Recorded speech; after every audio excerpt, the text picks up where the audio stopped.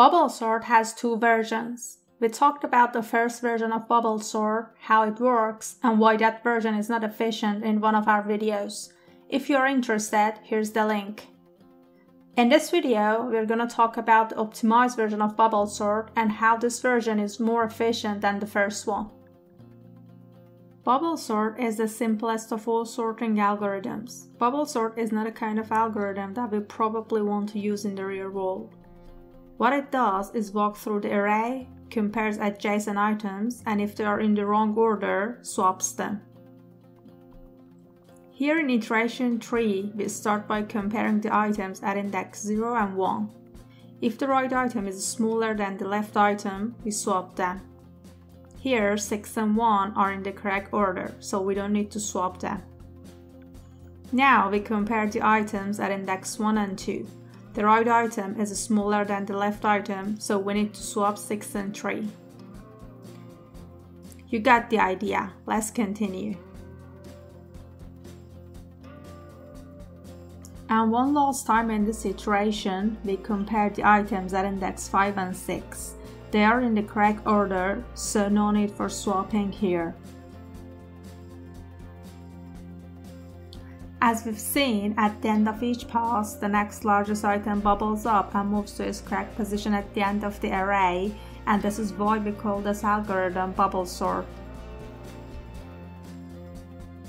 In this version of bubble sort, the algorithm is smarter and it knows that after j passes, the largest j elements are sorted at the j last entries of the array. The optimized version only compares the item in the unsorted section and doesn't do unnecessary comparisons in the sorted section. But we know that the other version of bubble sort compares the items in both sorted and unsorted sections. It also can identify if an array is fully sorted and stops execution of further passes.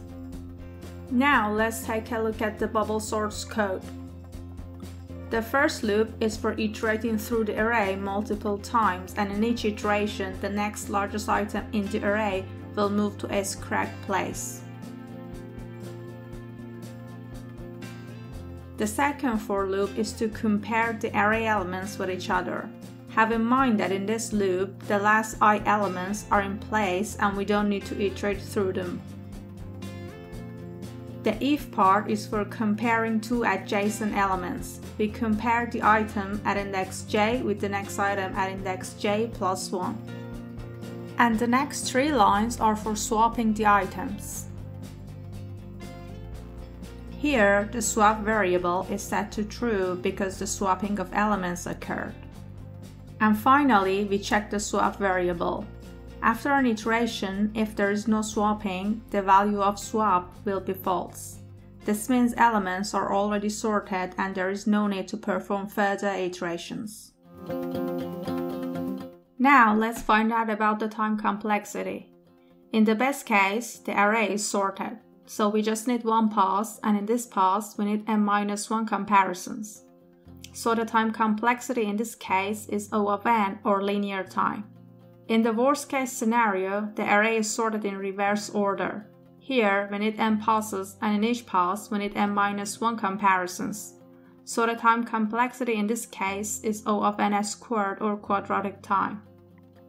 As we said, in the worst case scenario, bubble sort is pretty inefficient and it gets very slow as the number of items to sort grows.